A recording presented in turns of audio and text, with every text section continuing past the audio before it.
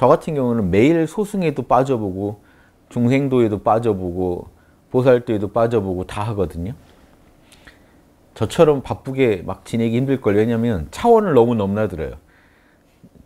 유교에 또 노노맹자 읽어요. 그러다가 오후에는 또 불교에 빠졌다가 저녁에는 기독교 보고 있어요. 그 다음 자기는 힌두교 봐요. 그럼 이게 지금 거의 다중 평행우주를 막 오가는 수준 아닌가요? 갈 때마다 그 세계 들어갈 때마다 조금씩 조금씩 그 조정을 해야 돼요. 미세 조정을 해야 돼요. 개념들이나 이런 거. 그러면 다 재밌어요. 다 재밌다는 얘기는요. 소승이건 힌두교가 특히 소승인데 소승이나 초기 불교도 소승적이잖아요. 그걸 봐도요. 거기에 또 맛이 있다니까요. 중생들은 또 중생들의 그 육도를 돌 수밖에 없는 그 맛이 있어요. 각각의 다 맛이 있어요. 근데 보살도라는 게 신기한 거예요. 바다와 같은 거예요. 그 모든 것을 포용하는 바다여야 돼요. 보살도. 그래서 바다에는요, 뭐 온갖 물고기가 살잖아요. 그러니까 한 종류가 살, 한 종류만 살기를 바라면 안 된다. 화엄색에도 온갖 꽃이 피어야지 한 종류로만 피워놓으면 그게 진짜 화엄세계가 아니죠. 음, 바다가 되는 공부다 이렇게 생각하시면 내 그릇을 진짜 키워야 되지 않겠어요? 우주를 수용할 정도로.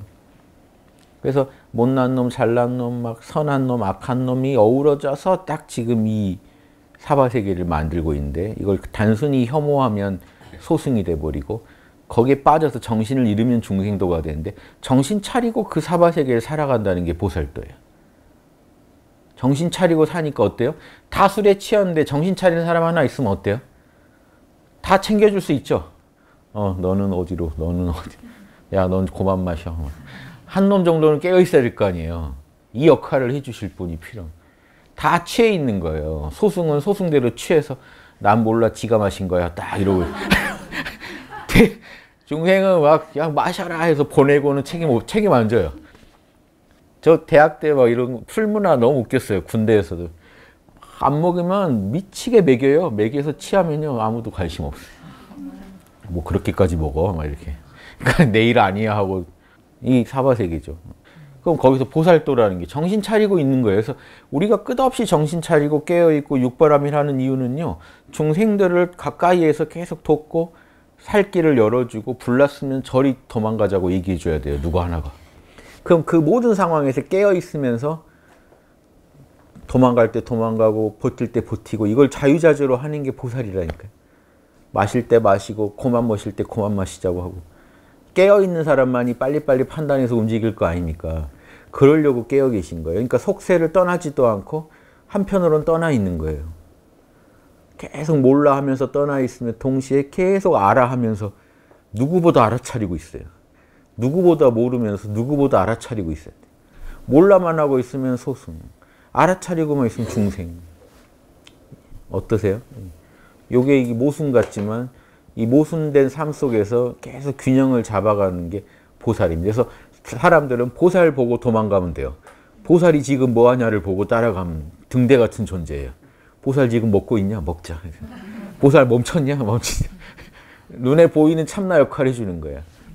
그러니까 깨어있는 마음이요. 참나가 있으면 깨어있는 마음이 부풀어져 나오는 이 마음이잖아요. 에고의 마음인데 깨어 있거든요.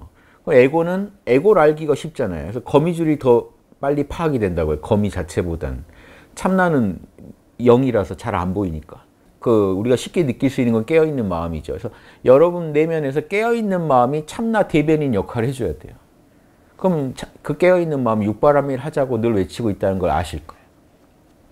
마찬가지로 인류 중에 깨어있는 마음에 해당되는 일부는 계속 깨어있는 참나의 대변인 역할을 해줘야 되는 거죠. 그 사람들이 보살이에요. 보살이 인류 안에 있는 깨맘입니다. 깨맘. 그래서 그 보살이 지금 뭐 하라고 육바람일 하라고 외치겠죠. 어차피 보살도. 보살이 가라 그러면 가고 멈추라면 멈추는 게 제일 현명하겠죠. 다들 보살을 주목하고 있으면 되겠죠. 보살이 이 주제력을 가지면 그 사회는 정토가 돼버리겠죠.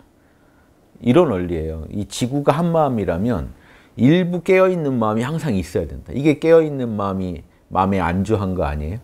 깨어있는 마음에 안주해야 참나 안주가 됩니다. 참나는 안 보이니까요. 깨어있는 마음이 우리 안에서 딱 확고해야지 참나가 늘 확고하다는 게 확실히 드러나는 거예요.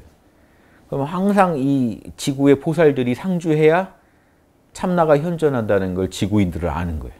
진짜 참나가 있구나, 양심이 있구나. 누가 나와서 이렇게 말하고 떠들고 행동하지 않으면 없, 없는 게 돼버린다니까요. 그럼 누가 알아차리는 자가 없고 지켜보는 자가 없으면 막 사는 거예요.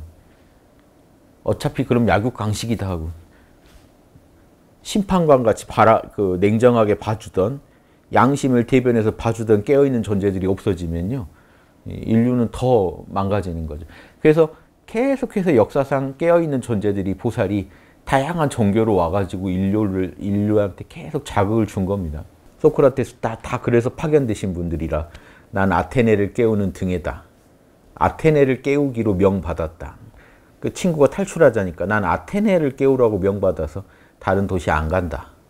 그리고 그냥 죽었잖아요. 그러니까 이런 다 자기 사명의식이 있어요. 명받은 걸 알고요. 참나랑 함께 하는 사람들은요. 올바르게 참나의 뜻을 이해한 보살들은요. 명확히 알고 갑니다. 자기가 어느 길을 가는지. 그래서 소승하고도 중생도랑도 달라요. 그래서 중생 속에서 명예를 얻으려고도 안 하고요. 소승 같은 일을 해가지고 인정받으려고도 안 해요. 이게 중용에 딱 써 있어요.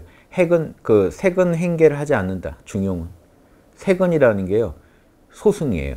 숨 은거만 하는데 집중하는 걸 색은이라고. 행괴 신통 부려서 이상한 기인이다 소리 듣는 거. 그 괴이한 일을 행하는 거. 그 사람들이 인간이 하기 힘든 신기한 일을 하거나 오로지 나는 속세를 피해서 숨어야겠다고 은거해야겠다고 하는 짓은 하지 않는다. 그건 중용에 배치된 행위들이다. 요게 다 뭐예요? 행계라는 게 결국 탐진치 만족시켜주는 뭔가 하는 거죠. 세근은요. 탐진치 피해서 숨으려는 거죠. 중용은 그런 게 아니다. 그래서 이 중용도 알기 어려워요. 중용을 다 읽어도 알기 어려워요. 아는 사람이 아는 거지 이 매뉴얼만 보고는 그 느낌 잡기가 어렵다고요. 칼날을 밟고서도 중용은 못한다. 한 나라를 잘 다스려도 중용은 못한다. 계속 중용에 이렇게 써 있어요. 뭐지 하는 거죠. 이게 이게 뭐냐면 왜 이 치고 빠지는 이 감각 알기가 어렵다는 거예요. 이게 자기 본성을 온전히 대변하면 돼요. 또 이렇게 말하면 쉬워요. 본성만 따르라는 거다. 인이지 육바라밀의 본성만 따르라는 겁니다. 근데 사람들은요, 그걸 따르라는 말을 듣고 또 뭐가 되냐면 바리세파가 돼요. 오케이. 중용만 따르면 되겠다. 이러면 또 무서워져요. 성경만 따르면 되는구나. 무서워져요. 감각을 모르고. 글로 배웠거든요. 요리를 글로 배웠어요. 뭐 이런 거죠. 나 알았어. 나 알았어. 막 이러면 더 무서워요. 이런 분들은. 알았던 분들이 제일 무서워요. 글로 배운 보살도가 무서운 게 이런 겁니다. 그 미묘한 감각을 몰라요. 치고 빠지고 치고 빠. 보세요. 우리 일상의 삶에서 대화만 해도 여러분 대화 치고 빠지고 잘하는 사람하고 대화하고 싶지 않으세요? 눈치 없는 사람하고 대화하면요 빠질 때 꼭 들어오고 그렇죠? 쳐야 할 때 안 안 안 치고 미칩니다. 이 대화에서 육바라밀이요 현연해요. 대화를 해보면 알아요. 육바라밀 지금 이 사람 감각이 있는지 없는지. 막 쓸데없는 데서 고집 부리고 막 이런 게요. 대화해보면요. 그래서 결국 불편하네, 이 사람. 이 사람은, 이 사람 이상하게 대화를 할수록 내가 또 편해지고 막 더 신이 나네. 이 차이 나죠. 이게 육바람일 때문이에요. 그 대화에 육바람이 있었냐, 없었냐. 이게 보살도예요. 다른 게 아니라. 그러니까 보살도도 지금 설명하려면 끝이 없잖아요. 보살도는 대화다. 또 뭐지, 이거. 나중에 저, 글, 나중에 감각 잊어버리고 글만 보면 하나도 안 깨지실걸요? 보살도는 대화다. 보살도는 각기도다. 보살도는 모순이다. 뭐, 뭐라는 거야? 도대체 보살도는 뭐야? 이렇게 돼요. 하나를 계속 얘기하고 있는 건데. 이렇게 살아가는 겁니다. 보살의 삶의 방식을 배우시자. 그게 제일 인간 중에 참나에 가까이 가가지고 불타고 있는 세공들의 모습이거든요. 그 불타는 세공이라야 불에 대해서 전달해 줄 수가 있죠. 그 느낌과 불이 뭔지를 가르쳐 줄 수 있죠. 근데 식은 세공 찾아가서 물어보는 거예요. 그래서 식은 세공들이요 불을 가르치고 있는 게 사입이에요.